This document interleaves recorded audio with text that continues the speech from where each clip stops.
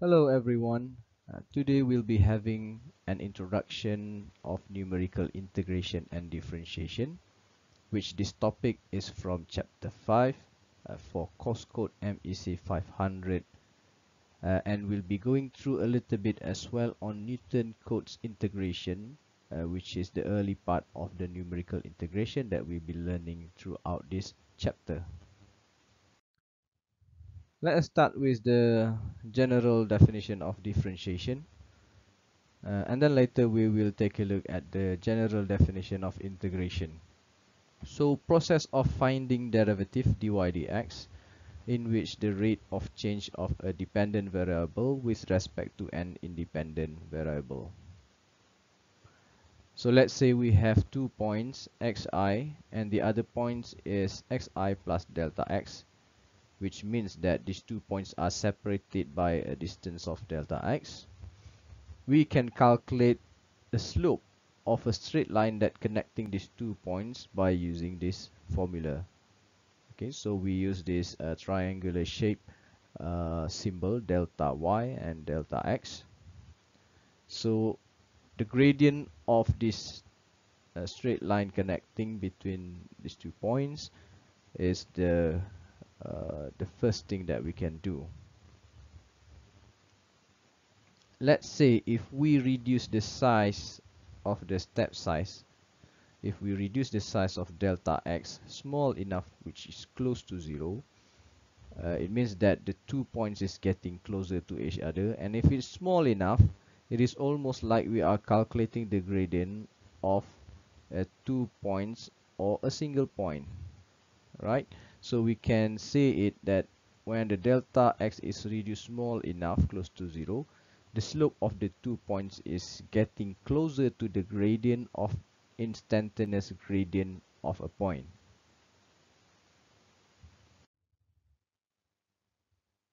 Before we go to the numerical differentiation, let's take a look at the non-computer method for differentiation we can use the equal area graphical differentiation. Let's say we have this data, x and y. We have six uh, data in this set. We start with finding the dif divided difference delta y, delta x for each interval. It means that for every interval, we connect a straight line between the x equal to 0 uh, and x equal to 3 and then we calculate the slope or the gradient of that straight line. So we will get the divided difference for each interval. For example the straight line that connecting between the data of x equal to 0 and x equal to 3 the straight line has a gradient of 66.7 and then we plot the delta y delta x as a step curve versus x. And then we draw the smooth curve uh, that intersect the middle point of each step curve. And then based on the drawn curve, we approximate the instantaneous value of delta y delta x at specific value of x. So now that instantaneous value of delta y delta x at specific value of x can be considered as the first derivative at that specific point. Now we take a look at the general definition of integration. Before we go to the numerical integration, it is a good idea uh, to revise a bit the fundamental of integration. So integration is a process of finding integral i. So the i or the results of the integration we call it as integral. Um, it means the finding the area under a function plotted on a graph. So that's what it means by integration actually. So looking at the formula, area A is equal to the integral I equal to the integration of the fx dx. You can use grid to approximate an integral. Let's say you have xy data or you have a curve um, if you have xy data you need to plot the curve and then you count the number of boxes under the curve. Uh, of course uh, we only count the number of boxes. Within the boundary of interest. And then you multiply the number of boxes to the size of area of a box in order to approximate the total area under the curve. So that total area become the integral of that function or the data. Of course, if you use a finer grid or thinner strip, you will have better approximation of your integral. And later when you learn about numerical integration, you will see um, this idea is actually become the basis of one of the numerical integration that we are going to learn. In engineering, we deals a lot with systems and processes that are changing or continuously changing. These changes are always described and governed by differentiation and integration of the parameters involved. For examples, uh, these are the differentiation involved in engineering. Number one, finding the acceleration of a body from velocity functions. And the second one is finding the velocity of a body from displacement data. This is the examples of integration in engineering, finding the displacement of a body from equation of motion and finding the moment of inertia of a body. Those things involve integration. Here are the things that can be differentiated and integrated. Mostly things that we have seen simple continuous functions such as polynomial, exponential and trigonometry uh, we can apply analytical approach to do the differentiation and integration. Sometimes we have tabulated values or discrete data. So this requires numerical approach. We cannot apply analytical approach to do differentiation and integration. And then the last one is the continuous and complicated functions. This is also requires numerical approach because in nature it is very difficult or maybe even impossible to integrate or differentiate. From now on, we will focus on numerical integration. Integral can be written as this, i equal to a, where the fx in that formula is the integrand. So the formula or the function that to be integrated, we call it as integrand x as the variable of course. A and b are the integration limits.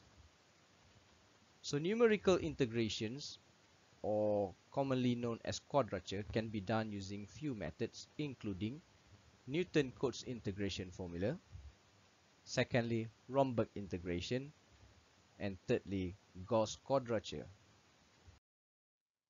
let us start with the first technique, which is the Newton-Cotes integration. The Newton-Cotes formula are the most common numerical integration scheme.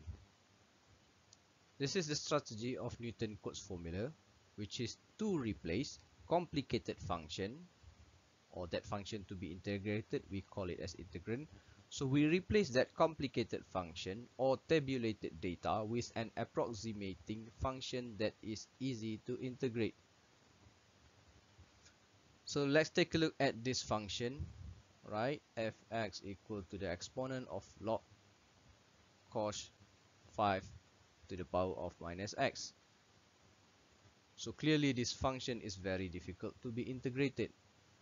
So go back to the strategy of Newton-Cotes where we are going to replace this function or this integrand with an approximating function that is easy to integrate okay. So originally this is the integration or the integral. So we are going to replace that fx with an approximating function which is easy to be integrated. So we replace fx with fnx in this case. Let's say that fnx is a polynomial function of the form of this right? So it is up to you whether it is a a first order polynomial which is a linear or straight line or second order polynomial which is quadratic or maybe cubic and so forth.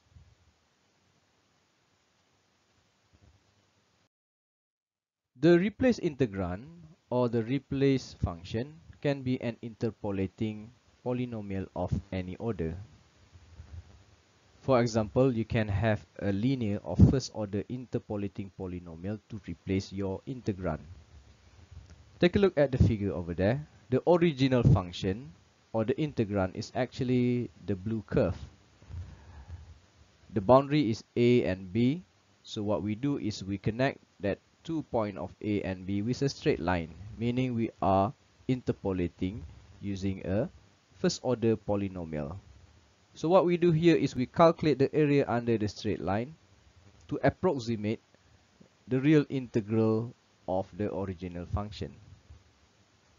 Or maybe we can use a second order or quadratic interpolating polynomials as can be seen in the figure B. The integrand can also be replaced by a series of polynomials applied piecewise to the function odeta over the segments of constant length. Here are the methods of applying Newton-Cotes integration. The first one is single application. Let's take a look at the figure on the right hand side. We have border A and B. It is connected with a straight line. So the area under the straight line is the approximation of the integral. You can see this unshaded area wasn't taken into account by the approximation. So it is less accurate, especially if the boundary A and B are widely spread. In order to reduce the unshaded area, we can use the second method, which is multiple application. So we divide uh, the whole section between the boundary A and B into few segments. In this figure, we have three segments. So we have the area I1, I2 and I3. You can see that the shaded area is reduced effectively. So by applying single integral repeatedly for each subinterval of data points, higher accuracy can be achieved. In the next topic, we will focus on Newton-Cotes integration with the first order polynomial. Thank you very much.